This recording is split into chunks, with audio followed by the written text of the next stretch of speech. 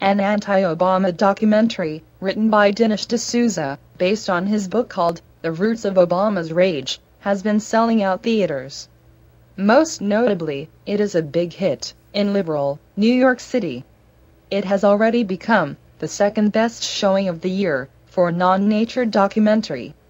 This weekend it will become distributed nationwide and is scheduled to run in over 1,000 theaters.